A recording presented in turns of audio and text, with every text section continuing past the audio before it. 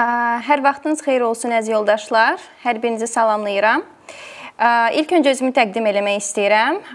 Mən Nərmin Məmmədova, Akademiyada magistratura şöbəsinin müdiri vəzifəsində çalışıram və e, öncəliklə bildirmək istəyirəm ki, hər birinizi burada görməkdən böyük məmnunluq hissi duyuram.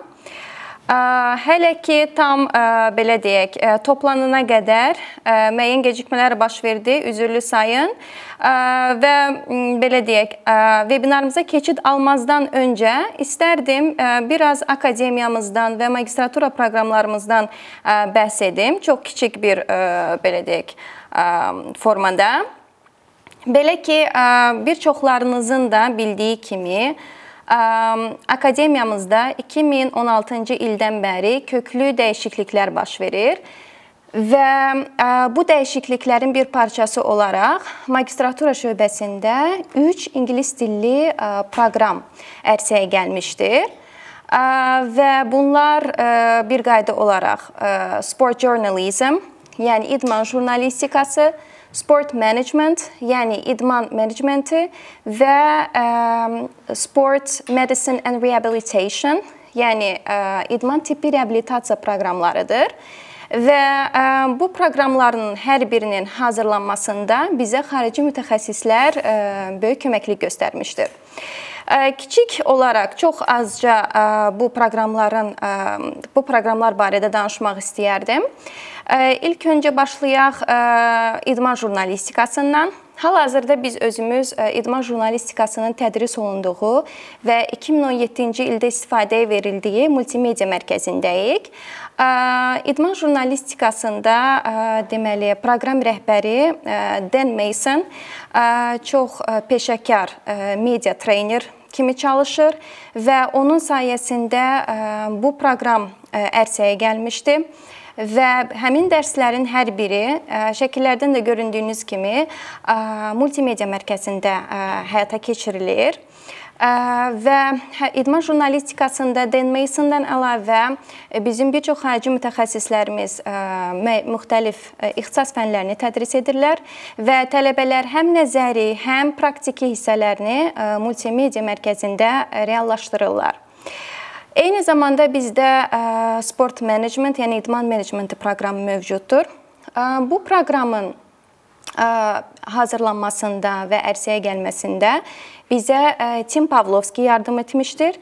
Tim Pavlovski Tübingen Universitetinin belə deyək, İdman Elmləri İnstitutunun professorudur və onun köməkliyi ilə bu proqram hazırlanmışdır. Proqramda Tim Pavlovski həmçinin müxtəlif ixtisas fənlərini tədris edir. Eyni zamanda belə deyək, elmi rəhbərlik də tələbələrə edir və eyni zamanda Tim Pavlovski ilə yanaşı bir çox xarici mütəxəssislər də bizdə ixtisas fənlərini tədris edirlər. Digər proqramımız isə hal-hazırda belə deyək, idman bazarında çox lazımlı olan və axtarılan sahələrdən biridir, hansı ki, idman tibbi reabilitasiyasıdır. İdman tibbi reabilitasiyası şəkillərdən də gördüyünüz kimi yenicə istifadəyə verilmiş, yəni 2017-ci ildən bəri təhvil verilən elmi tədqiqat laboratoriyasında aparılır və bu proqramın rəhbəri Michael Luzmerdir. Michael Luzmer həm e, London College Universitetinin eyni zamanda e, idman e, deməli idman sağ və Sağlamlıq İnstitutunun belə deyək, rəhbəridir, professorudur. Üzr istəyirəm, professorudur, professoru kimi çalışır və bu deməli Michael Luzmer'ın sayəsində bizdə idman tibbi və reabilitasiya proqramı hazırlanmışdır. Və bu proqramın sayəsində bizim məzunlarımız nəinki idman sahəsində, eyni zamanda yəni idman sahəsindən kənarda da həkim fizioterapevt kimi çalışa bilirlər. Və e, onu da qeyd etmək istəyirəm ki, hal-hazırda bizim deməli 2-ci Qarabağ müharibəsindən sonra, qələbəsindən sonra bizim yaralı qazilərimiz məhz bu laboratoriyada reabilitasiya kursları götürürlər və sırf bizim məzunlarımızdır ki, Onlar bu işdə bizə yaxından kömək olur və onların müalicəsində bizə köməklik göstərirlər. Əlavə olaraq bildirmək istəyirəm ki, bizim bu 3 proqram üzrə həmçinin xarici xaricə səfərlər də təşkil olunur və həmin bu 3 proqramın bir modulu xaricdə deməli keçirilir. Yəni Belə deyim, bu magistr proqramları bir daha qeyd etmək istəyirəm ki, ingilis dillidir və kiminsə marağı olarsa, bu üç proqramdan birinə əlbəttə ki, bizə müraciət edə bilərsiniz. Bununla bağlı info sessiyamız da bu yaxınlarda olacaqdır. Hər birinizi orada görməkdən məmnunluq duyarıq. İndi isə sözü vermək istəyirəm bugünkü vebinarımızın aparıcısına Ayan Nəcəf Formula 1 deməli yarışlarında Azərbaycan yəni Grand Prix-sində milli mətbuat katibi kimi çalışır. Buyurun Ayan xanım, söz sizdədir. Hər birinizi salamlayıram. Mən Ayan Nəcəf. Formula 1 Azərbaycan Grand Prix-sinin milli mətbuat katibi və eyni zamanda Azərbaycan Dövlət Bədən Təbiə və İdman Akademiyasında tədrislə də məşğul oluram. Eyni zamanda da akademiyada magistr təhsili üzrə tələbə seçimi və tələbə qəbulu komitəsinin üzvüyəm. Mənim üçün çox bir maraqlı bir təcrübədir və maraqlı bir imkandır ki, bu gün bu vebinarları sizə təqdim edək akademiya ilə qarşılıqlı ortaq şəkildə. Bəli, mən bu vebinarlar barədə ilk öncə onu demək istəyirəm ki, bu ASAPES Career Talks ASAPES karyera söhbətləri deyək, müzakirələri e, bir vebinar deyil, vebinarlar silsiləsindən ibarətdir.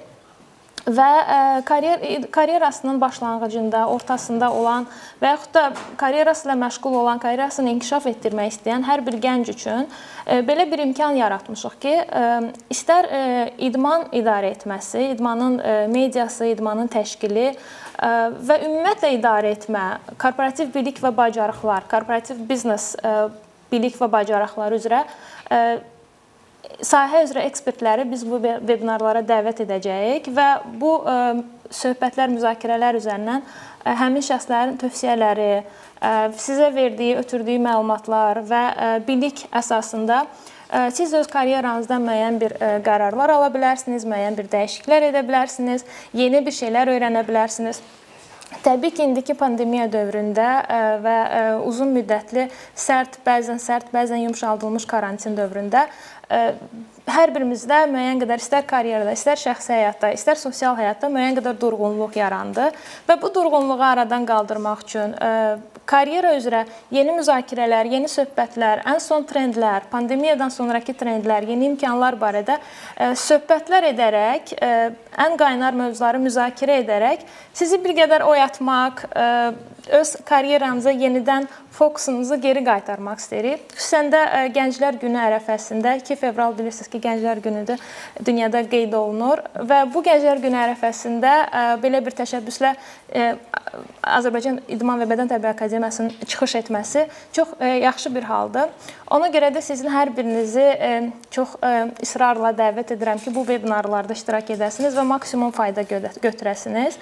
Ümid edirəm ki, növbəti 1 saatımız hər birimiz üçün qarşılıqlı şəkildə faydalı olacaq və interaktiv olacaq. Mən qısaca bir bugünkü mövzumuz haqqında qısaca bir bu sahə üzrə öz mövzuya bir giriş edəcəm və bundan sonra daha çox söhbətimizin interaktiv şəkildə qarşılıqlı faydalı olmasını və sual-cavab şəklində olmasını sizdən gözləyəcəm.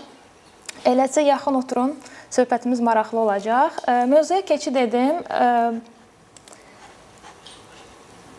Bu gün danış danışacağımız mövzu ə, deməli Bakı və Mega idman tədbirləri, imkanlar və risklər, xüsusən də case olaraq, yəni nümunə olaraq Formula 1 Azərbaycan Qran Prisini əsas gətirmişik. Nəyə görə Azərbaycan Qran Prisi e, soruşa bilərsiniz. Burdan hansı dərslər almışıq? Təbii ki, burada mövzu əsas məqsəd e, burada Azərbaycan Qran Prisi artıq 5-ci il keçiriləcək olan 2021-ci ildə keçiriləcək olan Azərbaycan Qran Prisini tərənnüm etmək, onun faydalarını e, saatlarca danışmaq deyil.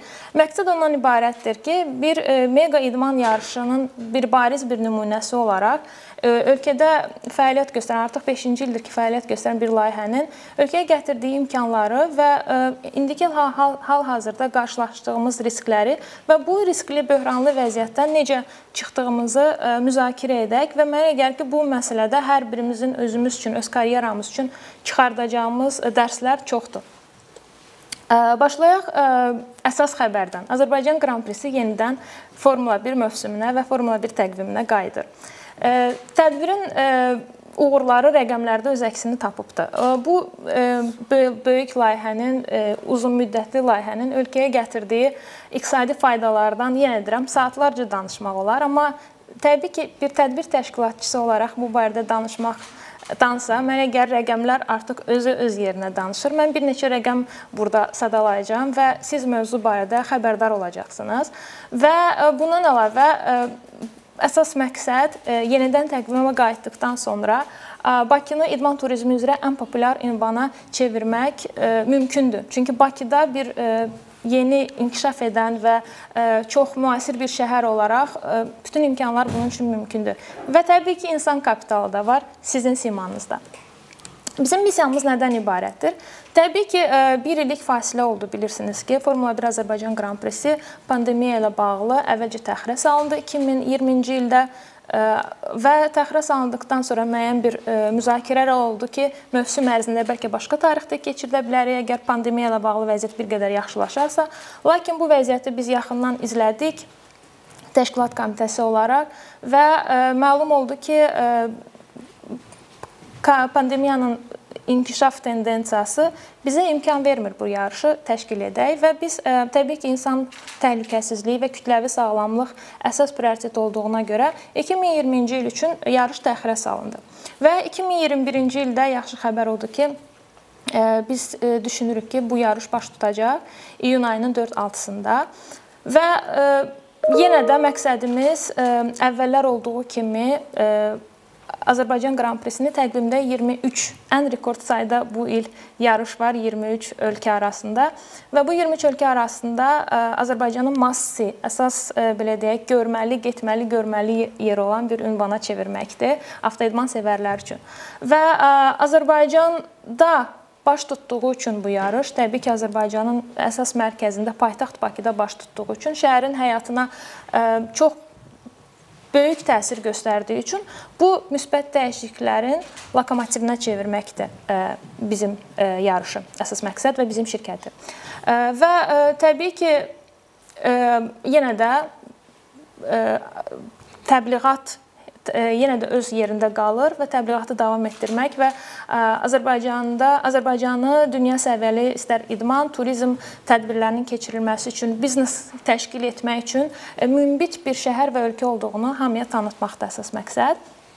Və niyə görə məhz Formula 1? Yəni bilirsiniz ki, yəqin çoxlarınız bu faktla tanışdınız yay olimpiyaları və dünya futbol dünya futbol çempionatından, FIFA dünya çempionatından sonra 3-cü ən çox dünya üzrə izlənilən və tamaşaçısı olan ən böyük yarış Formula 1-dir.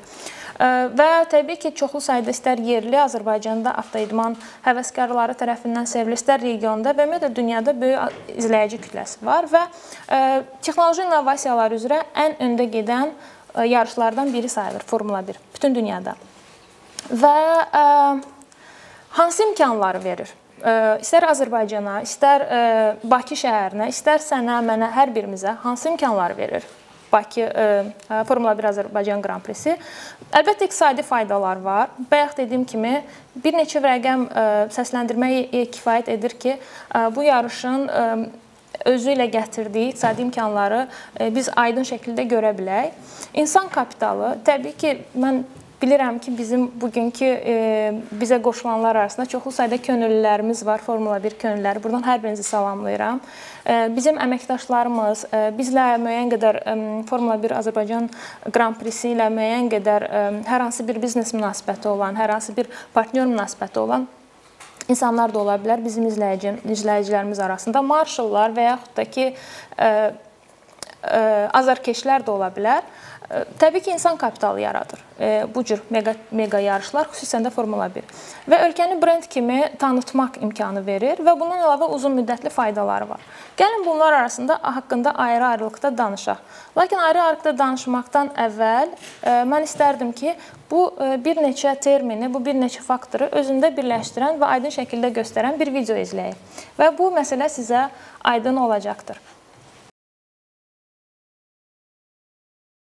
thank you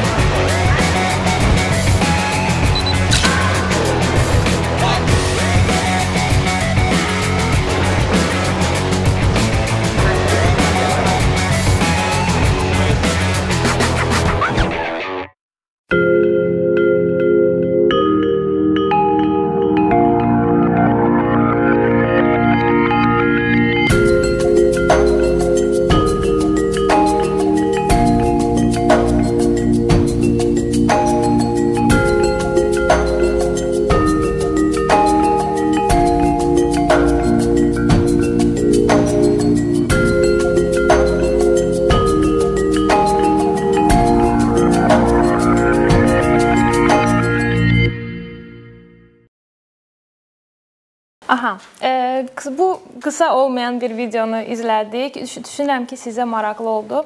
Nəyə görə biz e, məhz e, bu e, mövzu ətrafında bu bu videoya nəzər salmaq istədik? Çünki Çünki bayaq qeyd etdiyim kimi ölkəyə biznes ə, ölkəyə gətirilən biznes ə, faydaları, ölkədə inkişaf etdirilən və daim gücləndirilən, şaxələndirilən insan kapitalı, ölkənin brend kimi tanıtma, tanıdılması istər mediada, TV-də və beynəlxalq aləmdə və uzun müddətli faydalar haqqında danışarkən mən əgər bütün bu elementlər bu videoda öz əksini tapmışdı. Gəlin baxaq necə. Ə, məsələn, iqtisadi faydalardan danışsaq, Mən iqtisadi faydalardan danışarkən Big 4 şirkəti bilirsiniz ki, böyük 4 böyük audit şirkəti var və onlardan birinin PwC-nin hesabatı olmuşdu 2016-2017-ci il Azərbaycan Qran Prix-sinin ölkəyə gətirdiyi faydalar üzrə. Onu da vurğulayım ki, Bakı şəhər halqası Azərbaycan Qran Prix-si layihəsi ölkədə çox az saylı, hətta bəlkə deyərdim ki, yeganə layihələrdən biridir ki, öz ə, iqtisadi ölkəyə gələn iqtisadi gəlirlər barədə əsaslı və peşəkar bir araşdırma aparmışdı və bu araşdırmanın nəticəsini 2018-ci ildə ictimaiyyətə açıqlanmışdır və mən bu həmin araşdırmadan bir neçə rəqəmi sadəcə burada paylaşacağam. Hesablamalara görə çox kobud və çox pessimistik, yəni çox təvazökar hesablamalara görə ölkəyə gələn gəlir 277 milyon dollardan çox olmuşdu. 2 illik e, yarışın nəticəsinə görə və bu 277 milyon dollar dedikdə bu birbaşa, yəni satışdan əldə olunan sırf e, e, iqtisadi faydalarla bərabər dolayısı yolla olan faydalardan da özündə birləşdirir bu rəqəm. Birbaşa fayda turizm, məsələn, otellər ə, ə, otaqları satıldı və müəyyən qədər ə, pul dövriyyəsi oldu və otellər burada gəlir götürdü. Və yaxud da ki, bizdə bilet satışından olan Azərbaycan Qran Prix-sində bilirsiniz ki, bilet satışları var, müxtəlif tribunalar və kateqoriyalar üzrə. Bu satışlardan əldə olunan gəlirlər və s. Və var dolayısı olan gəlir. Məsələn, yarışın təşkili üçün cəlb olunan çoxlu sayda padratçılar, çoxlu sayda tərəfdaşlar, çoxlu sayda köməkçi və yaxud da xidmət göstərən şirkətlər onlara ödənişlərin olması və bu ölkədə biznes həyatının qaynaması və bu pul dövriyyələrindən gələn faydalar dolayısı yolla olan faydalardır. Birbaşa faydalar arasında məsələn qeyd etmək olar Həmçinin də insan kapitalına olan faydanı vurğulamaq istəyirəm. Məsələn, dolayı faydalar 164 milyon idi. 277 milyon, 164 milyonu dolayısı yolu olan faydalar. Yəni sırf Bakı şəhər halqası özü deyil, onun ətrafında olan bizneslərin götürdüyü faydadan söhbət gedir. Və ə, e, dolayı faydalar isə ə, e, turizm sektorunda gələn, yəni şirkətin və yarışın ətrafında olan ə, e, şirkətlərin və tərəflərin götürdüyü faydalardan söhbət gedirsə, burada biznes sektoru, elektrik, su, qaz təchizatı, üzrə geriyə ödənən ödənişlər, ticarət, nəqliyyat, bilirsiniz ki, Formula 1 dünyada ümumiyyətlə kargo və nəqliyyat üzrə ən çox pul sərf edən layihələrdən biridir. Çünki ölkədən ölkəyə gedir və 2021-ci ildə hesab planla planlaşdırılıb ki, təxminən 23 yarış baş tutacaq və 23 ölkədə. Və düşünün bu nə qədər uçuş, nə qədər kargo, nə qədər nəqliyyatdır və təbii ki, burada da bizim ölkənin götürdüyü faydalar var idi. Hava uçuşları, bizim tərəfdaşlarımızdan olan Azal və yaxud da digər belə deyək kargo şirkətləri, hətta bayaq videoda 166 taksinin də taksi xidməti, daşıma xidmətinin də loqosunu gördünüz. Yəni bu cür şirkətlər birbaşa müştərilərə xidmət göstərərək və yaxud da yarışın təşkilində təşkilatçı komitəyə, təşkilatçı şirkətə xidmət göstərərək gəlirlər əldə edirlər və bir bu bundan asılı olaraq və birbaşa fayda, iqtisadi fayda götürürlər və yaxud da dolayısı vasitəsilə. Və ə, e, toplam ə, e, dolayı olan faydalar, dolayısı ilə olan gələn faydalar 113 milyonu aşırdı. Yəni deyirəm bu çox təvazökar və ilkin ə, e, bir pilot layihəsi idi. İqtisadi gəlirləri hesablamalar üzrə bir çox ekspert ekspertlər fikri ondan ibarətdir ki, bu çox təvazökar hesablamadır. Əslində gəlirlər bundan da çox olubdu. Amma yenə də qeyd edim ki, burada əsas məqsəd yarışa gətirdiyi iqtisadi faydaları burada tərənnüm etmək və hər bir xərclənən manatı yarışa burada açıqlamaq və ona haqq qazandırmaqdan getmir. Məqsəd odur ki, bunu müzakirə etmək və burada istər fərd olaraq, individual olaraq bir könüllü, bir sahə üzrə ekspert, bir mütəxəssis olaraq, bir biznes sahibi olaraq və yaxud da bir startap yeni başlayan startap nümayəndəsi olaraq biz müzakirə edib bir imkanlara baxaq ki, bu biznesin ətrafında mən, sən, o biz hansı imkanlardan yararlana bilərik? Böyük idman tədbirlərinin ölkəyə gətirdiyi imkanlar. Və insan kapitalı təbii ki, məqsəd bu hal-hazırda Azərbaycan bilirsiniz ki, əsas gəlir mənbələrindən biri xam mal ixracı və e, qara qızıldır, e, neft ixracı və təbii ki, iqtisadiyyatda əsas məqsəd qara qızılı neft ixracatını insan kapitalına çevirməkdir. E, bu yaxınlarda bir yenə də bu bu məsələ üzrə rəqəmlər açıqlanmışdı. Azərbaycanda əsas gəlirlərdən biri əsas ixracat 70%-dən ölkənin gəlirlərin 70%-dən yuxarısını təbii ki, e, neft ixracatı təşkil edir və bu e, gəlirləri şaxələndirmək e, bu dəqiqə iqtisadiyyatda əsas prioritetlərdən biridir. Buna görə də biz qara qızıl insan kapitalına, biliklərə, turizmə yönləndirməyə çalışırıq. E, insanların həyatına e, təsir edən imkanlar yaratmaq. İnsanların həyatına təsir edən, yəni bu iş yerlərinin açılmasından tutmuş, bu yeni biznes sahələrinin açılmasına qədər və yaxud da yeni satış imkanları, yeni satış məhsullarının düşünülüb tapılmasına qədər e, insanların həyatına təsir göstərmək olar. Və yaxud insanların həyatına təsir göstərməyin başqa bir yolu ölkənin tam mərkəzində paytaxtda fəaliyyət göstərən bir böyük bir şirkət olaraq Bakı şəhər halqası ətraf mühit ilə bağlı sosial məsuliyyət layihələri həyata keçirdə, keçirdir və keçirdəcəkdir. Əhalinin maarifləndirməsi ilə bağlı, şəhərdə infrastrukturun yaxşılaşdırılması ilə bağlı kiçik bir perimetrdə olsa belə. Bu məsələlər üzrə ölkədə satış, iqtisadi, sosial münasibətlərə müsbət təsir etməsi ilə bağlı, ölkəyə yeni əyləncə mədəniyyəti gətirməklə bağlı. Bilirsiniz ki, pandemiyadan əvvəl yarışlar təşkil olunanda həftə sonu konsertlər olurdu.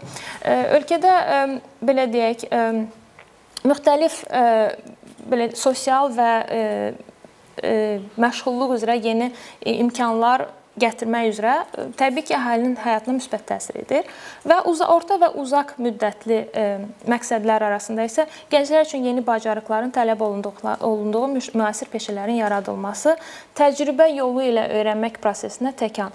Təbii ki, bayaq Nərmin xanım çox düzgün qeyd etdi ki, bu akademiyada hal-hazırda idmanın təşkili, menecmenti üzrə magistr proqramı təşkil olunub. Həmçinin də idman jurnalistikası üzrə. Lakin bundan əvvəl bu proqram yox idi.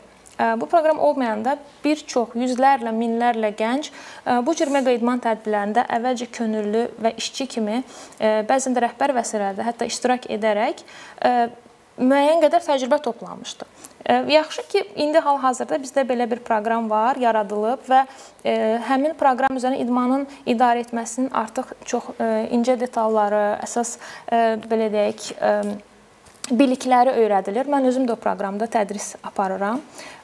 Lakin bundan əvvəl bu proqram olmamışdan əvvəl insanlar, bir çox mütəxəssislər sadəcə bu layihələrdə iştirak edərək, çalışaraq təcrübə toplayıblar. Mənim çoxlu sayda çox iş yoldaşlarım bu tədbirlərdə iştirak edərək idmanı idarə etməsi üzrə özlərinə karyera qurublar. Təbii ki, mən də bu özüm də bu tədbirlərdə iştirak edərək məndə bu sahəyə maraq yaranmışdı və belə bir imkan yarandı və mən təhsilimi ölkə xaricində davam etdirdim və sırf idmanın idarə etməsi və təşkili üzrə. Təəssüf ki, həmin dövrdə bizim ölkədə belə bir gözəl proqram mövcud deyildi. Lakin indi belə bir proqram var. Əvvəlki yarışlardan, məsələn, Avropa oyunu, Bakı Avropa oyunları 2015-ci il, Formula 1 İslam oyunları, yay olimpiada oyunları, gənclərin yay olimpiada festivalı bu layihələrdə çalışan çoxlu sayda gənc hal-hazırda bu akademiyanın müxtəlif proqramlarında təhsil alır. Çox maraqlı haldır ki, işdə iş yoldaşı olduğum insanlar həm də hal-hazırda akademiyada tədris alırlar. Bu çox maraqlı bir tendensiyadır və düşünürəm ki, bu akademiyanın yaratdığı çox müsbət bir təkandır tələbə tələbələr və gənclər üçün. Və insan kapitalı deyəndə nəyi nəzərdə tuturuq? Bayaq Avropa oyunlarını qeyd etdim. 500-ə yaxın xarici əməkdaş cəlb olunmuşdu. Ölkəmizdə keçirilən belə deyək, pioner böyük idman tədbirlərinin pioner yarışlarından biri sayılırdı. Çünki hələ çox əvvəllər ondan böyük çox böyük iri miqyaslı tədbirlər olmamışdı Bakıda və bu yarışların təşkili üçün 500-dən çox əcnəbi əməkdaş cəlb olunmuşdu. 2017-ci il İslam hərmərliyi oyunlarında bu əməkdaşların sayı 50-yə endi. Hal-hazırda yəni 2017-ci ilin rəqəmlərinə baxsaq, əcnəbi əməkdaşların sayı 3-dən çox deyil və 2000 yəni indi hal-hazırda 2021-ci ildir və bu rəqəm dəyişməyibdi. Yəni bu deməkdir ki, bu insan kapitalına təsir eləyir və bu rəqəm 500-dən 3-ə necə enib? Bu bizim öz gənclərimizin, öz könüllülərimizin, öz mütəxəssislərimizin hesabına bu rəqəmlər müsbət şəkildə dəyişib ölkənin insan kapitalının xeyrinə. Və nəticələr 2006-2017-ci illərdə 5000-dən çox könüllü bu yarışlarda iştirak etdi. 2000-dən çox marşal iştirak etdi. Daimi heyət təxminən 100 nəfərdir. Bəzən artır, bəzən azalır. Təxminən 100 ətrafında dəyişir. Amma qısa və orta müddətli iş yerləri də açıldı. Formula 1 Azərbaycan Qran Prisi ətrafında və bu rəqəmlər 2 il üzrə 10 mini keçirdi. Və brendin brend kimi də Azərbaycan və Bakı şəhəri tanındı. 2017-ci ildə beynəlxalq və müxtəlif müsabiqələr üzrə azarkeşlər və media qurumlarının səs verməsi üzrə Azərbaycan ilin yarışı seçildi, Azərbaycan Qran Prisi və burada adları qeyd olunan media qurumları bu səsvermədə iştirak edirlər və onlar bunu açıqlamışdılar. Bu azarkeşlərin arasında çox nüfuz və maraq yaradan yarışlardan biri idi. Beynəlxalq nüfuz ölkədə ölkənin beynəlxalq nüfuzu beynəlxalq aləmdə yaxşılaşdı. Neqativ demək olar ki, məqalələr, neqativ yazılar Azərbaycan haqqında çox aşağı sayda idi, 5%-ə yaxın. Neytral 57%-in üzərində idi və pozitiv təxminən 40%-ə yaxın. Bu çox böyük bir qısa müddət üçün çox böyük müsbət bir təsir idi. Və 2017-ci ildə Azərbaycan Qran Prisi ilk üçlükdə oldu. Monako və Avstraliya Qran Prilərindən sonra ilk üçlükdə yer aldı. Yenə də nüfuzuna və avtoidman idmançılara, azarkeşləri arasında yaratdığı marağa görə. Və qlobal azar azarkeş kütləsi e, getdikcə böyüyürdü Azərbaycan Qran Prisinə. Əgər 2016-cı ildə e, e, bizdə bilet alıcıları arasında, azarkeşlər arasında əcnəbilər var idisə, 2017-ci ildə bu rəqəm əcnəbilərin aldığı bilet sayı 100% artdı. Yəni 2 dəfə çoxaldı. Bundan əlavə ölkədə ümumi satılan biletlərin, Qran Prix-nin biletlərinin satışı 2017-ci ildə 3də 1-i əcnəbi alıcılar təşkil edirdi və 71 mindən çox əhali həftə sonu ərzində gəlib yarışı izləmişdi. Və bu ümumiyyətlə bilet satışı üzrə 2006-cı və 17-ci illəri müqayisə etsək 30% artım olmuşdu. Bu deməkdir ki, bu yarış bu mega idman tədbiri buna qoyulan investisiyanı doğruldurdu. Və uzunmüddətli təsirləri də oldu təbii ki, ölkəyə. Və bu uzunmüddətli təsirlər arasında daha çox yenə deyirəm, insan kapitalı, ölkədə biznes münasibətlərinə olan təsiri, ölkədə yeni avtoidman mədəniyyəti, avtoidman mədəniyyətinə, avtoidman yarışlarına maraq çoxaldı və ölkəni tanı, ölkə tanındı.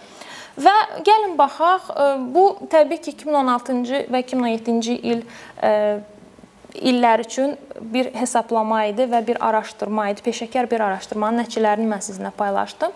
Və bu təbii ki, ondan sonra da yarışlar baş tutdu və ortada 1 il fasilə yarandı. Və 2021-ci ildə Azərbaycan 1 il, e, yəni bütün dünya üzrə izlənən və müşahidə olunan bir pandemiyadan sonra Azərbaycan Qran Prisi yenidən təqvimə qayıdır. Və bu il ərzində nələr baş verdi? Bu böhrandan sonra bu böhranı Azərbaycan Qran Prisi e, necə bu böhranı idarə etdi və bu böhrandan necə çıxdı və bu böhran bizə hansı imkanları gətirdi? Məsələn, onu qeyd edim ki, bu 1 il ərzində bir çox ölkələrdə yarışlar təxirə salındı, tək Azərbaycanda deyil. Və bə çox az sayda ölkələr 2021-ci ildə yarışı təşkil etdi. Bu ölkələrin sayı 6 idi və digər ölkələr keçirtmədi bu yarışı. Təbii ki, pandemiya vəziyyətinə əlaqədar. Və bu zaman boş yaranan ortada fasilə ərzində Yeni e, məhsullar, Formula 1-də yeni məhsullar, yeni vərdişlər ortaya çıxdı və bu yeni məhsullar yeni startapların yaradılması deməkdir. Məsələn, startaplar dedikdə biz nəyi nəzərdə tuturuq? Korporativ məsələn digital məzmun əhali daha çox evdə qaldığı üçün pandemiya dövründə və idman yarışlarını daha çox evdən, televiziyadan, internetdən izlədiyi üçün əhalinin internetlə, digital aləmlə təması çoxaldı. Və bu bu digital aləmlə təmas çoxaldığı zaman bu deməkdir ki, bu gənclər üçün bir siqnaldır ki, bir, yeni bir startaplar açsınlar. Digital məzmunun yaradılması, digital məhsulların yaradılması üzrə yeni yeni məhsullar yaratmaq olar. Yeni start startaplar açmaq olar və bunu tək yerli bazarda deyil, dünyada da satmaq olar. Və bu kimi digər məhsul və xidmətlər Və korporativ sosial məsuliyyət. Təbii ki, Formula 1-də çoxdan danışılan və çoxdandan planlaşdırılan korporativ sosial məsuliyyət e, məsələsi üçün kifayət qədər boş zaman yarandı və ümumiyyətlə brend Formula 1 brendi və Avtomobil Beynəlxalq Avtomobil Federasiyası bu korporativ sosial məsuliyyət layihələrini bir-bir daha yaxından e, işləyib hazırlamağa başladı. Və e, bu e, bu e, layihələr arasında məsələn Formula 1-də çoxdan danışılırdı ki, bu ətraf mühitə ən çox zərər vuran idman növlərindən biridir Formula 1. Təbii ki, adi orta statistik triatlon və yaxud da velosiped yarışlarından çox daha çox ziyan vurur Formula 1 ətraf mühitə. Çünki burada avtomobillər yarışır, burada avtomobil mühərrikindən e, atılan tullantılar var. Ətraf mühit çirklənir. Çoxlu sayda yarışın ətrafında və yarışın e, iaşə və əyləncə zonasında plastik işlənir. Və Formula 1 özünə məqsəd qoymuşdu ki, 2021-ci ilə qədər bir təqvim qoyulmuşdu və yol xəritəsi çəkilmişdi. Məqsəd qoyulmuşdu ki, 2021-ci ilə qədər Formula 1 2022-ci ilə qədər üzr istəyirəm, e, tamamilə karbonsuz bir layihə bir layihəyə çevriləcək, karbon tullantısız. Çünki nəyə görə karbon tullantısız? Plastik e, tullantıların əksəriyyətinin tərkibini, yəni karbon e, maddəsi təşkil edir və e, karbon tullantısız bir yarışa keçiriləcək. Və təbii ki, yarışların ən qızğın çağında bu bir arzu, istək olaraq qalır. Lakin e, bunu həyata keçirmək bir qədər ikinci, üçüncü prioritetə keçir. Lakin müəyyən qədər boşluq yarandıqda, təqvimdə fasilə yarananda Formula 1 çoxdandan verdiyi vədləri tutmağa başladı. Və bu da bir yenə edirəm, bir gənclər üçün, bir bizneslər üçün bir siqnaldır ki, bu cür çağırışlardan istifadə edərək, bu cür mesajlardan istifadə edərək ətraf mühitin qorunması ilə bağlı yeni xidmətlər, yeni məhsullar, yeni həll yolları tapsınlar və bunu biznes halına gətirə bilərlər. Və bu bizneslər açılanda istənilən halda bu biznes sahibkar olmayan bir insan üçün də bu həm də iş yeridir bu yeni bizneslər. Çox maraqlı haldır ki, ətraf mühiti korlayan əsas faktor bizneslərdir, amma ətraf mühiti xilas edən faktor yenə də bizneslər olacaq. Çünki bunun üzərində bir qədər düşünüb həll yolu tapıb və bu üzrə biznes qurmaq lazımdır. Bu məsələn bizneslər sırasında e, tullantıların təkrar emalından söhbət gedə bilər. E, bu bizneslər arasında daha çox tullantısız, daha yaxşı filtr olunan e, hava qurğularından söhbət gedə bilər və yaxud da digər, yəni belə deyək, kreativliyin heç bir limiti yoxdur. Bu sayədə yeni startaplar, bizneslər düşünmək hər birimizin haqqı və haqqıdır və ə, düşünürəm ki, borcudur. Və bundan əlavə ə, böhranın və pandemiyanın Formula 1-ə və ölkələrə gətirdiyi imkanlardan biri də qadın idmanına yenidən önəmə önəmli önəmli hal almağa başladı və gündəmə qayıtdı.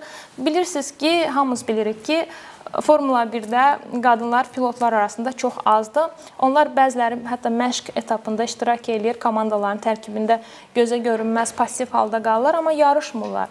Və çünki bu ona görədir ki, Formula 1 kifayət qədər çətin idman növüdür. Orada çoxlu fiziki güc tələb olunur, boyuna çox ə, e, güclü təzyiq olur ə, e, avtomobili idarə edərkən və bu e, qadın ə, fiziologiyası buna tab gətirmir və çoxlu çoxlu hazırlıq, məşq və tələb edir. Və həmin dövrdə bu qadınların iştirakını Formula 1-də və digər avto idman, Formula 1 və digər avtomobil idman yarışlarında asanlaşdırmaq üçün Formula 1 müəyyən qədər sosial layihələr həyata keçirməyə başladı Avtomobil Federasiyası ilə bağlı. Bu da yeni bir trenddir, böhrandan sonra da izlənən. E-sport, e, digital idman, təbii ki, bu əvvəl də var idi. Formula 1-də ən çox yayılmış e, tendensiyalardan biridir. Lakin əhali yenə deyirəm, yarışlar təxirə salındığına görə, əhali daha çox evdə oturduğuna görə bu cür oyunlara, bu cür yarışmalara pandemiya vaxtı daha çox maraq göstərməyə başladı. Və burada e-sportdan doğan imkanlar, onun yeni oyunların yazılması, burada yeni reklamlar, yeni imkanlar və yeni digital belə deyək, məhsulların hazırlanması e-sport sahəsində də bizə gəlmiş olan yeni imkanlardan biridir və bu barədə düşünməyə dəyər hesab edirəm ki, sponsorluq Sponsorluq sahəsində bir qayda olaraq Formula 1 idman növündə daha çox sponsorlar böyük idman böyük şirkətlərdir. Biz bilirik, məsələn, Rolex, DHL, Heineken kimi böyük şirkətlər, dünya brendləri Formula 1-ə sponsorluq edir. Bu da ondan ibarət, ondan ona görədir ki, orada sponsorluq məbləği çox yüksəkdir. Lakin bir çox yarışlar təxirə salındığına görə, məsələn, bəzi sponsorlar e, istər Formula 1-də, istərsə də digər yarışlarda, hətta yay olimpiada oyunlarında bilirsiniz ki, Tokio 2020-ci il yay olimpiada oyunları da təxirə salındı e, və bunun kimi də digər yarışlar Azərbaycanda keçiriləcək olan Euro 2020-20 e, futbol yarışması da 1 illik təxirə salındı. Yəni bu çox yayılmış bir haldır və bu yarışlar təxirə salınanda və yaxud da hər hansı bir ölkədə keçirilməyəndə hansı ki keçirilməsi nəzərdə tutulurdu, bəzi sponsorlar sponsorluqdan imtina edirlər. Nəyə görə imtina edirlər? Çünki onlar sponsorluq paketini imzalayan zaman, qəbul edən zaman, məsələn, onlar ə, Formula 1 məsələn öhdəlik götürür ki, sponsor şirkəti 21 ölkə, 23 ölkədə təbliğ olunacaq, görüntü, visibility qazanacaq və ölkələr ard-arda yarışı təxirə salır.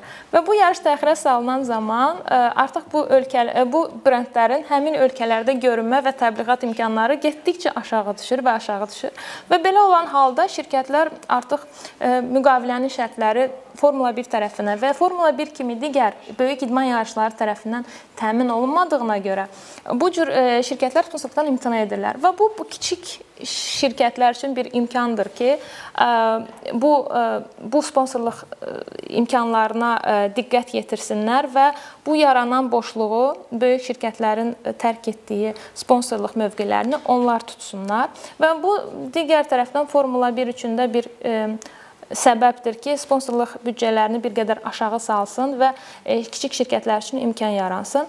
Yəni bu böhranlı vəziyyətlərdə hər bir şirkət, hər bir böyük layihə e, sadəcə pessimizmə qapanıb yarış e, təxirə salındı, tədbir təxirə salındı. Aman Allah, nə edək? Bir çıxışı ilə, lozunqu ilə hərəkət etmir. Bir durum dəyərləndirilməsi, böhran dəyərləndirilməsi edir və e, bu böhrandan çıxış yolları və hər bir böhranın yaratdığı yeni imkanlara baxır.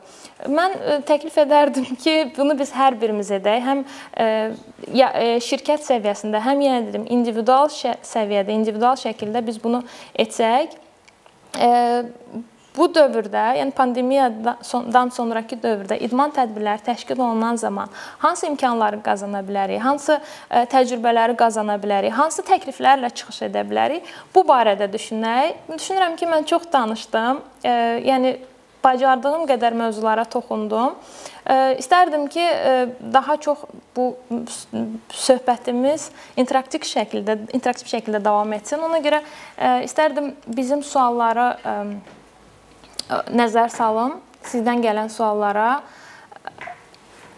Aha, bir izləyicimiz sual göndərib ki, Könüllülər prizmasından ə, nə cür imkanlar və risklər olacaq Formula 1-də?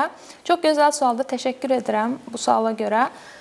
Könüllülər məsələsi bir qədər qeyri-müəyyəndir Formula 1-də. Təəssüf ki, çox ə, bir mənalı şəkildə bir məlumatla, bir tezislə çıxış etmək çox çətindir indiki etapda. Gəlin gəlin nəzərə alaq ki, Bir ay bundan əvvələ qədər ümumiyyətlə demək çətin idi Azərbaycanda Formula 1 Qran Prisi baş tutacaq yoxsa yox. İndiki olan məlumata görə yarış baş tutacaq, bəli. Lakin ə, e, yarışın keçirilməsi üçün bir neçə format ola bilər. Ola bilər ki, pandemiya vəziyyəti ilə əlaqədar olaraq iyun ayında azarkeşlərin yarışa gəlməsi bir qədər problematik olsun və yarış azarkeşsiz keçirilsin. Ola bilər ki, həmin dövrdə pandemiyanın dinamikası bir qədər aşağı düşsün, e, yar, e, virusun yayılmağı bir qədər aşağı düşsün və e, daha yumşalsın pandemiya vəziyyəti, karantin vəziyyəti və bu halda yarış azarkeşlərlə keçəcək. Və yarışın azarkeşlərlə və yaxud da azarkeşsiz keçməyindən asılı olaraq e, bu bizə e, deməyə imkan verir ki, biz yarışa nə qədər könüllü cəlb edəcəyik. Çox gözəl bilirsiniz ki, bizə könüllülük işi, e, könüllülər bütün sahələr üzrə Formula 1-də iştirak edirlər, yarışın təşkilində bizə kömək edirlər.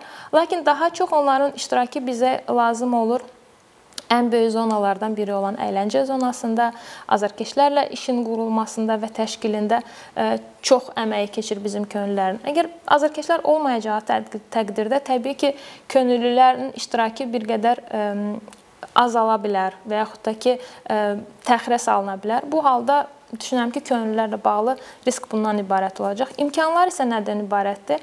İmkanlar ondan ibarətdir ki, təbii ki, könüllülərin sayı azaldığına görə yəni pandemiya yenə də pandemiya vəziyyətinə əlaqədar ümumiyyətlə işçi sayı e, minimal minimal biz saxlamağa çalışacağıq. Çünki daha az işçi daha çox daha az təhlükə deməkdir və daha az pandemiya daha yaxşı mübarizə deməkdir pandemiya ilə və belə olan halda az az yerlərə gələn az könüllü yerlərinə gələn könüllülərə daha çox iş tapşırılacaq, daha çox məsuliyyət qoyulacaq üzərinə və düşünürəm ki, imkanlar bundan ibarət ola bilər ki, siz həmin o az müəyyən olan iş iş yerlərində, könüllülük yerlərində iştirak edib özünüzü daha yaxşı tərəfdən göstərə bilərsiniz.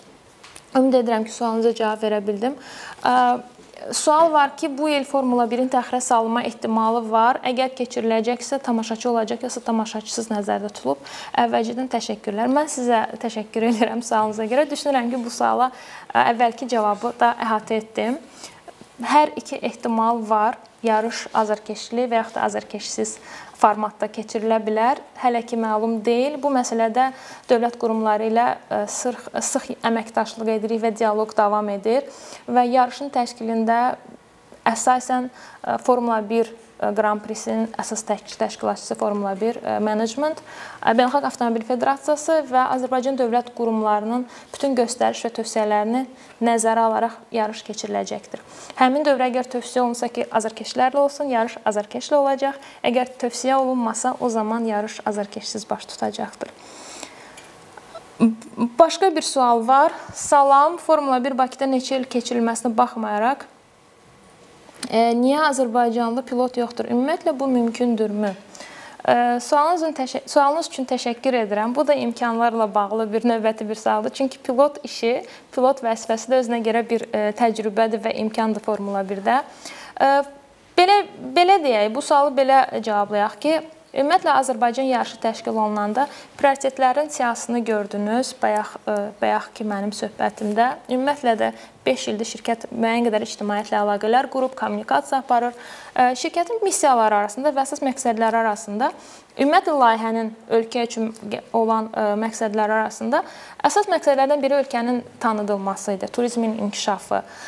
Ölkədə avtoidman bazasının, həvəskarlarının sayının artırılması idi və ölkəyə iqtisadi faydaların gətirilməsi idi.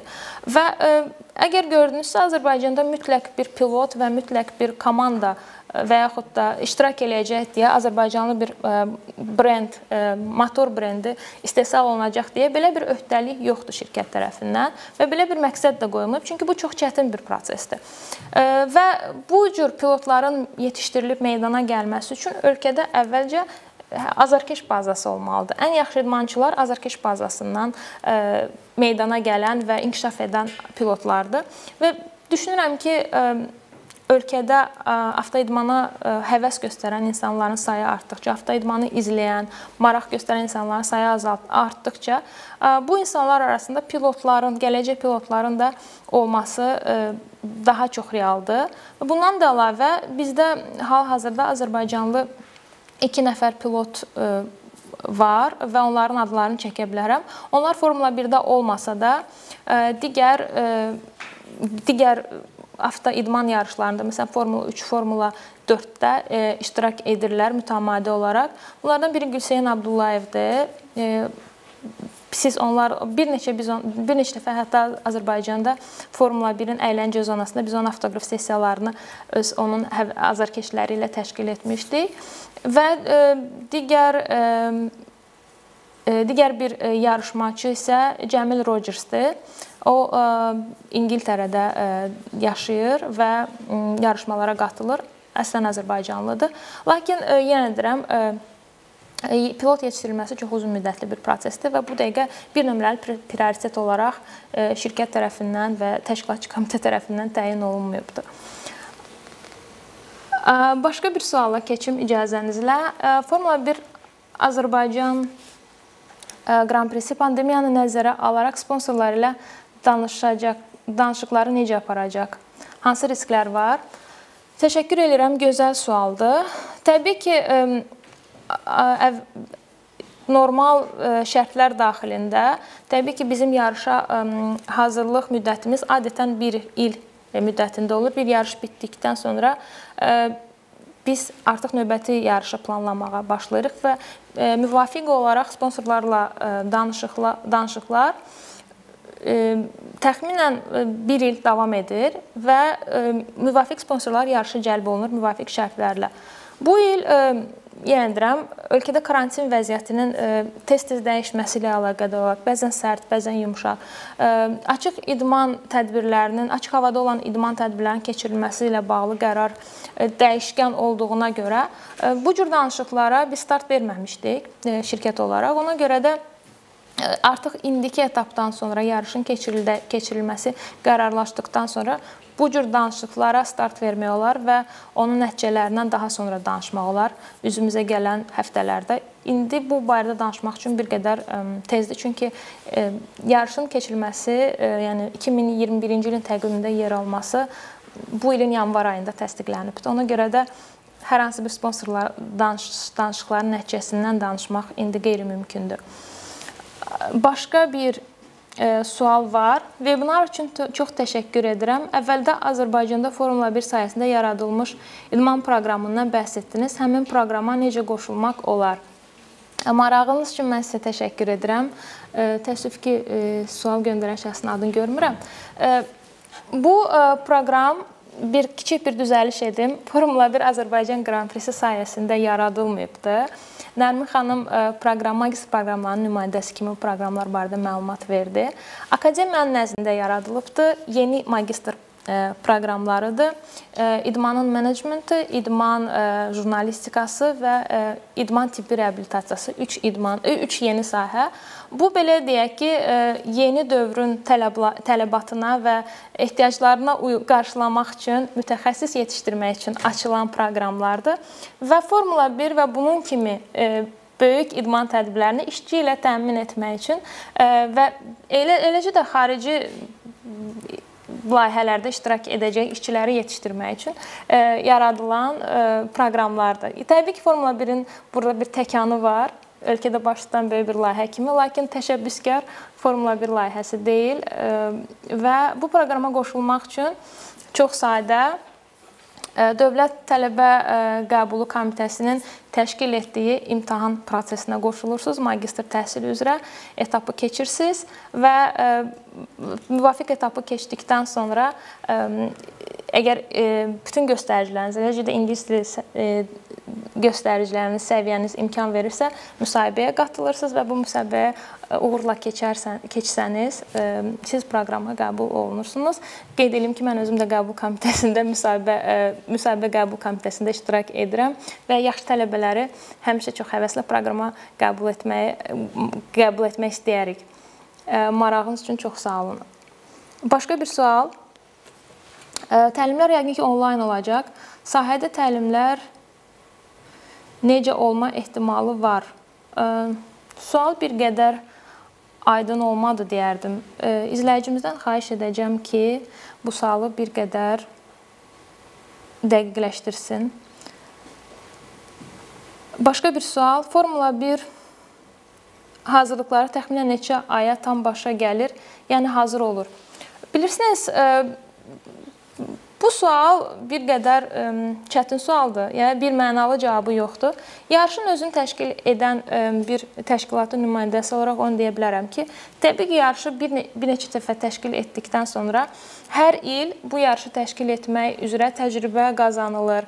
Müəyyən bir biliklər, müəyyən bir riskləri artıq tanımış olur oluruq və təbii ki, yarışı keçirmək üçün ə, gərəkən zaman ə, zaman müddəti, zaman pəncərəsi daralır. Bizə ə, belə deyək, ə, əvvəllər daha çox zaman tələb olunurdusa, ə, indi qazanılmış təcrübə əsasında daha az müddətdə həmin eyni işləri, eyni vəzifələri yerinə yetirmək olur. Lakin yarışın təşkili və təşkil komitəsinin fəaliyyəti sırf yarışın təşkilindən ibarət deyil və müəyyən vəzifələrin yerinə yetirilməsindən ibarət deyil. Yarış ətrafında biz il ərzində müxtəlif layihələr həyata keçirilir.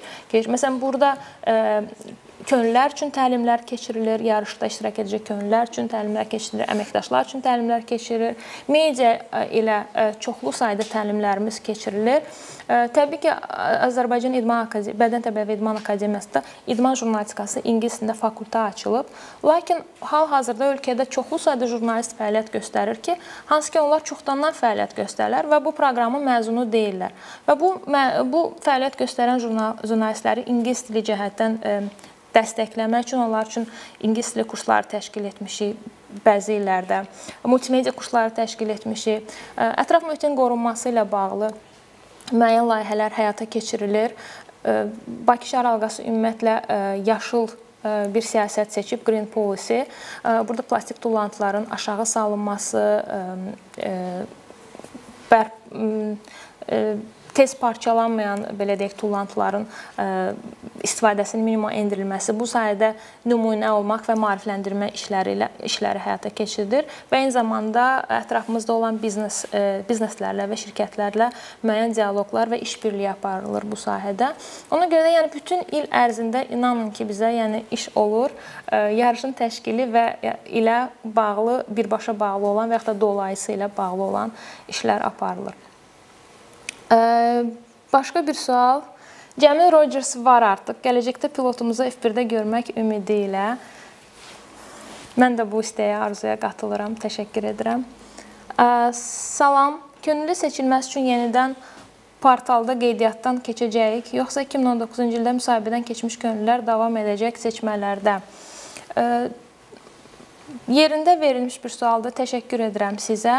Bu proses bərpa olunduqdan sonra, çünki bayaq qeyd etdiyim kimi, ümumiyyətlə könüllülərin qəbulu və iştirakı ilə bağlı və tələb olunan könüllü sayı ilə bağlı hər hansı bir dəqiq məlumat bu dəqiqə mövcud deyil şirkətdə. Çünki bu e, yarışın azarkeşlərlə və yaxud da azarkeşsiz keçirilməsindən asılı olacaq. E, ona görə də bu məlumat dəqiqləşəndə və lazım olan könüllü sayı müəyyənləşdirdikdən sonra ki, şirkət neçə könüllünü cəlb edəcək Formula 1 Grand Prix-sinin təşkilinə, o zaman bu barədə sizə məlumat veriləcək. Başqa bir sual Formula 1 könüllüsü seçilmiş və bu günə kimi heç bir fəaliyyət imkanı olmayan və səbirliklə bu Grand Prix yarışmasında iştirakını səbirsizliklə gözləyən gənc könüllülər üçün hansı şans verilməsi ehtimalı mümkündür? Təşəkkür edirəm. Təşəbbüskar olun, maraq göstərin və gəlin ümid eləyək ki, yəni bu il ümumiyyətlə yarışa könüllü qəbul etmək imkanı bizdə olacaq. Yəni mən uzun müddətdir ki, şirkətdə məsələn media, marketinq, media və yayım funksiyasına sahəsi üzrə məsul məsuliyyət daşımışam. Bu sahədə bilirsiniz ki, daha çox peşəkarlar cəlb olunur. Könüllülərin bu sahədə təcrübəsi və bilikləri azdır və bəzən könüllülərlə çalışmaq bu sahədə köməkdən çox bəzən əlavə iş bizə əlavə iş demək olur və çünki çox çoxlu sayda onlar yaxından təlimlər keçməli oluruq könüllülərə, izahat verməli oluruq və çox spesifik və çox tələbkar bir sahədir media ilə iş. Lakin buna baxmayaraq, bununla belə, yəni çox peşəkar iş təcrübəsi tələb olunmasına baxmayaraq, biz bu sahədə də könüllüləri həmişə cəlb etmişik. 1-ci ildən 2019-cu ilə qədər bizdə hər il o şöbədə və eləcə də digər bütün şöbələrdə könüllülər olubdur. Yəni məqsədimiz sosial məsuliyyət ti nəzərə alaraq ə, könüllülərə imkan yaratmaq da öyrənmək üçün. Və çox tez-tez rast gəlinən haldır ki, bizdə bu il könüllü olan şəxslər gələn il qısa müddətli, orta müddətli işlərə bəzən işçi kimi də alınır. Məqsədimiz könüllülərə şərait yaratmaqdır. Amma indiki halda yarışın formatı hər şeyi təyin edəcək. Yarışın formatından asılı olaraq biz biləcəyik ki, hansı sayda könüllü cəlb edə bilirik və könüllərə hansı şansları verə bilərik. Təbii ki, biz də çox istərdik ki, şans verək. Başqa bir sual?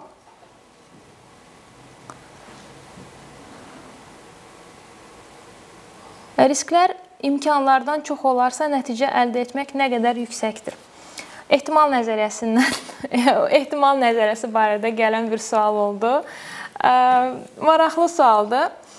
Mən bir öz təcrübəmdən çox şeylərə əgər təvazökar şəkildə cavab versəm bu suala, mən deyərdim ki, risklər imkanlardan çox olduqda insan imkanları daha yaxşı dəyərləndirməyə başlayır və riskləri nəzərə alır və ehtimalı olmayan bütün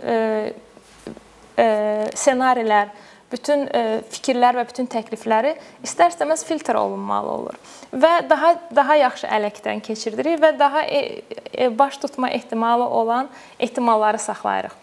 Və belə olan halda düşünürəm ki, yenə də onların baş tutma ehtimalı olur. Və risklər yenə deyirəm, situasiyanı daha yaxşı dəyərləndirməyə, daha real, daha realistik və daha gözə açıq dəyərləndirməyə bizə imkan verir. Ona görə də risklərdən qorxmayın. Riskli olan hallarda biz daha çox fokuslanırıq məsələyə və nəticə çox vaxt yaxşı olur. Ona görə bu cəhət, bu məsələlərdə biraz mən şəxsi təcrübəmə əsaslanaraq daha optimistəm. Formula 1-də könüllü olmağın nə kimi faydaları var? Mən bu qədər könüllülük barədə suallar olduğunu nəzərə alaraq Mən e, düşünürəm və inanıram ki, e, bizim e, növbəti mövzulardan biri ümumiyyətlə könüllülük olacaq. E, deyə bilmərəm növbəti və yaxud da növbəti neçəncisə bir e, vebinarımız. Siz bilirsiniz, bizdə vebinarlar silsiləsidir. E, və burada biz könüllülük barədə, könüllülüyün faydaları barədə geniş müzakirə edə bilərik. Qısacası olaraq onu deyə bilərəm ki, e, könüllülük peşəkar işə başlamazdan əvvəl könüllülük sıfır iş təcrübəsi ilə işə girib e, təcrübə qazanmağa, yeni biliklər qazanmağa, peşəkarlarla işləməyə, biznes mühitini tanımağa imkan verir. E, mən özüm də öz karyerama könüllülükdən başlamışam və bunun faydalarını çox gözəl başa düşürəm və sizə də tövsiyə edirəm. E, gözəl vebinara görə sizə təşəkkür edirəm. Gələcəkdə bu cür vebinarları keçirməyə planlaşdırırsınızmı? Təşəkkür edirəm rəyiniz üçün.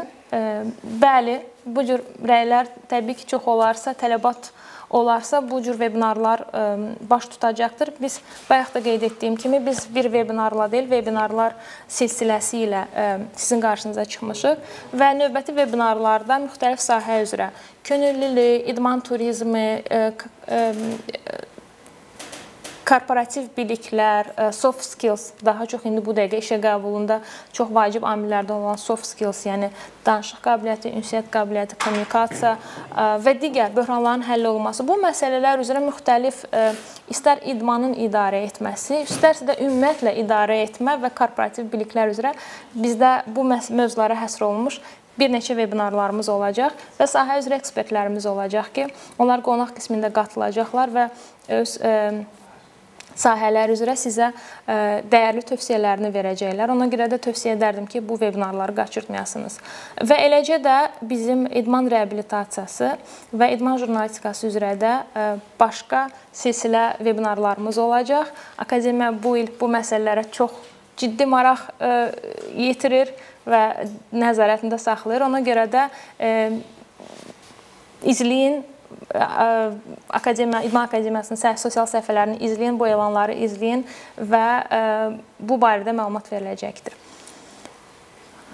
Könüllükdən işçi olmaq üçün stajdan əlavə nə lazımdır? Təşəbbüskarlıq, öyrənmək istəyi və kömək etmək istəyi düşünürəm ki, çünki çox bir çox könülləri biz iş mühitində tanımaq və dəyərləndirmə imkanımız olur və daha çox vicdanla işə yanaşan, öyrənmək istəyən, səmimi şəkildə öyrənmək istəyən, səmimi şəkildə kömək istəyən, etmək istəyən könüllərə hər zaman ehtiyacımız olur.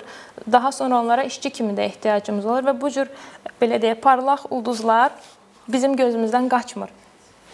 Ona görə də ə, tövsiyə edərdim ki, könüllülük müddətində ə, işə çox həvəslə və vicdanla yanaşasınız ə, və maksimum dəyərləndirəsiniz bu şansı. Pandemiya dövrü göstərdi ki, əvvəllər çox asan əldə olunan, çox belə rahat şəkildə qoşulub iştirak etdiyiniz könüllü proqramları belə bəzən əl çatmaz olur, təəssüf ki, böhranla əlaqədar. Ona görə bu şans sizin əlinizə düşərsə, yaxşı dəyərləndirməyinizi tövsiyə edirəm. Suallar bitmək bilmir. Əslində görüşümüz 1 saatı keçib və çoxlu sayda suallar gəlir qeyd etdiyim kimi sualların çoxusu könüllü ilə bağlıdır. Mən çox üzülürəm ki, e, könüllü ilə bağlı bu dəqiqə şirkətin strategiyasını e, sizinlə paylaşa bilmirəm və e, çox dəqiq məlumat verə bilmirəm könüllü qəbulu ilə bağlı. Bu da məlum məsələdir ki, karantin və pandemiya ilə bağlıdır. Lakin ümid edirəm ki, üzümüzə gələn həftələrdə bizim insan resursları və könüllülər departamentimiz müəyyən bir həll yolu ilə və təkliflə könüllülərə bir məlumat verəcək. Ona görə bizdən belə bir məlumatı gözləyin. Mütləq olacaq. Formula 1-də 2016-cı ildə könüllü kimi iştirak edib, 2019-cu ildə staf olub və indi də bu gözəl vebinara master tələbəsi kimi qoşulmaq kimi gözəl hiss. Çox şad oldum. Təəssüf ki, izləyicimizin adını görə bilmirəm. Lakin ümid edirəm ki, bizim master tələbələrin arasında olan bir şəxsdir. Hətta tədrisini apardığım tələbələrdən biridir. Təəssüf ki, adını görə bilmirəm sual verən şəxsin. Başqa suallar? Düşünürəm ki, sualların çoxusunu cavabladıq. Yenə deyirəm, sualların çoxu könüllü bağlıdır. Buna ayrıca webinar həsr olunacaq. Söhbətimiz bu gün 1 saatı aşdı. Diqqətiniz üçün və iştirakınız üçün sizə marağınız üçün sizə təşəkkür edirəm. Bacardığımız qədər sualları cavabladıq. Amma bu sonuncu webinarımız deyil. Biz sizinlə yenə görüşəcəyik. Gələn həftənin 3-cü günü növbəti webinarımız olacaq. Akademiya İdman Akademiyasının e, e, səhifəsini izləyin. E, mən burada əməkdaşlarımızdan təsdiq gözləyirəm bu məsələ ilə bağlı. Səhifəni izləyin, elan olacaq və mövzu da səhifədə qeyd olunacaq, webinar mövzusu. Hamısı görmək ümidi ilə təşəkkür edirəm. Sağ olun.